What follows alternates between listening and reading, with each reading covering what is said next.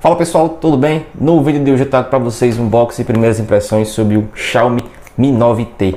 Esse dispositivo traz ótimas configurações, câmera tripla, bateria de 4.000 mAh e uma câmera frontal pop-up, pessoal. Muito, muito bacana. Então, sem mais conversas, vamos direto para a bancada.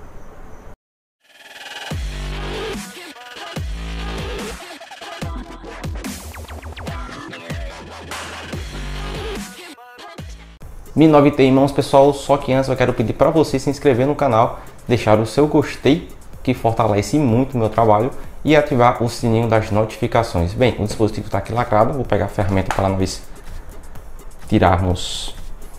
Que sensação maravilhosa, pessoal. Esperei muito, muito mesmo por esse unboxing.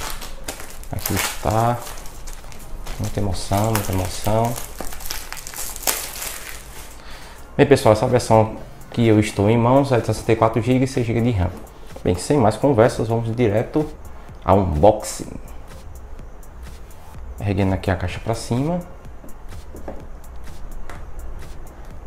Um pouquinho de força aqui. Pronto. Maravilha, tiramos aqui. Onde cara nós temos esse compartimento. Obviamente deve ter os manuais, a capinha, a chavinha para remoção da bandeja do SIM card. E temos aqui um manual que praticamente ninguém lê deixando aqui ao lado. Nós temos também a capinha.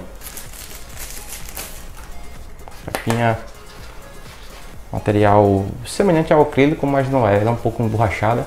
Material que passa uma sensação de boa qualidade. Então já está deixando tudo ali ao lado. Vamos aqui ao dispositivo. Olha que maravilha, pessoal, que aparelho belíssimo. Olha esse, mano do céu, tá show, show de bola esse aparelho. Tá deixando ele aqui ao lado. Logo aqui abaixo nós temos, obviamente, o cabo tipo C para carregamento. E ao lado nós temos o carregador no padrão é, americano, acredito eu, essa, essa pinagem.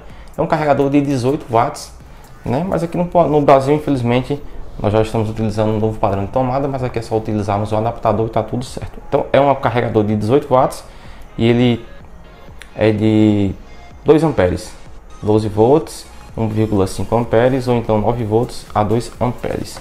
Então vou estar recolocando tudo e nada mais. Então vamos focar apenas no aparelho. Então aqui está pessoal Redmi 9T, tirando esse plástico. Olha esse barulhinho pessoal, que maravilha. Então aqui está pessoal o conjunto triplo de câmeras. Nós temos a câmera principal de 48 megapixels com inteligência artificial. Nós temos a câmera secundária, secundária de 8 megapixels com zoom óptico de duas vezes e uma câmera grande angular que é de 13 megapixels. Ainda nós temos aqui nessa lateral os botões de volume, tentar focar para vocês. Botão de, os botões de volume, liga, desliga. Na parte de cima nós temos aqui a câmera frontal, né? Já já mostro para vocês que é a câmera pop-up. Nós temos a entrada para fundo de ouvido. Felizmente a Xiaomi manteve a entrada para fundo de ouvido microfone para redução de ruídos. Nesse outro lado nós não temos nada. E aqui embaixo nós temos a bandeja para os chips, tá? Chips, aqui ó, entrada tipo C, microfone e alto-falante principal. Bem, vamos ligar aqui o dispositivo. Enquanto ele vai ligando, espero que tenha carga, maravilha. Então aqui nós temos uma tela AMOLED, pessoal, Full HD, com a densidade de 403 ppi e proteção Gorilla Glass 5. Ou seja, é uma proteção para riscos, arranhões, né? Mas a gente, como todo usuário brasileiro, a gente vai proteger nosso dispositivo, até porque não é tão barato assim, né?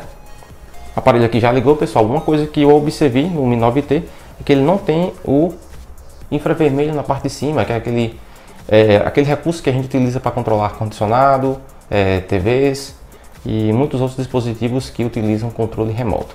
Então aqui está a MIUI 10 eu vou estar fazendo essas primeiras configurações e já já volto para a gente falar um pouco mais sobre esse belíssimo smartphone, pessoal. Beleza, pessoal, aparelho já configurado e como alguns de nós já estamos acostumados, aqui a interface é a MIUI, por sinal já está até um pouco mais avançada que a 10.3.6 e como nós sabemos, roda com bastante fluidez mesmo nos dispositivos um pouco mais básicos. E pessoal, aqui por baixo do capuz nós temos um processador Snapdragon 730 octa-core com clock máximo de 2,2 GHz e uma GPU Adreno 618, né, que com certeza vai rodar todos os games aí que estiver disponível na Play Store. Aqui também nós temos a memória de 64 GB, memória interna, e também 6 GB de memória RAM. É, antes que eu esqueça também, nesse dispositivo nós temos uma bateria de 4.000 mAh, porque como eu falei anteriormente, ele já vem com um carregador de 18 watts, especificamente para carregar rapidamente essa bateria. Então pessoal, já configurei aqui o desbloqueio tanto na tela, né, que é sobre a tela desse dispositivo, e também o reconhecimento facial. Então vamos testar aqui a eficiência desses dois desbloqueios. Primeiramente, desbloqueio facial, muito, muito rápido.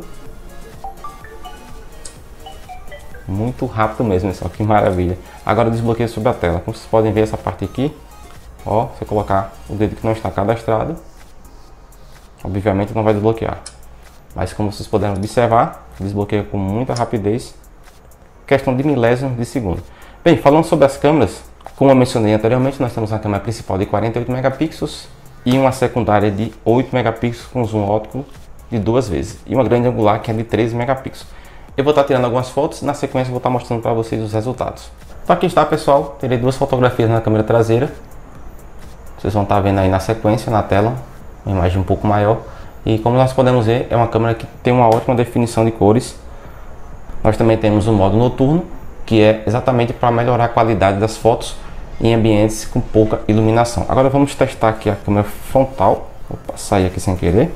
Então quando acionamos a câmera frontal, vocês podem observar, ó, acende o LEDzinho na cor referente ao dispositivo. O azul, no caso, é azul e o vermelho é o vermelho.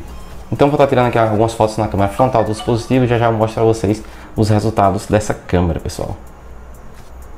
Então aqui está, pessoal, a câmera frontal do dispositivo. Notem a qualidade da imagem, é muito, muito boa mesmo. A definição de cores é muito boa desse dispositivo, pessoal. Então esse foi o vídeo de hoje, pessoal. Espero que vocês tenham gostado. Eu não vou estar entrando em tantos detalhes, porque é apenas um box em primeiras impressões.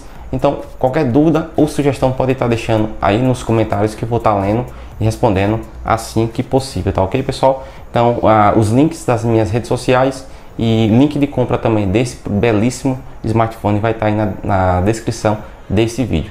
Eu vou ficando por aqui, forte abraço e não se esqueça do like, tá ok? Forte abraço e fique com Deus.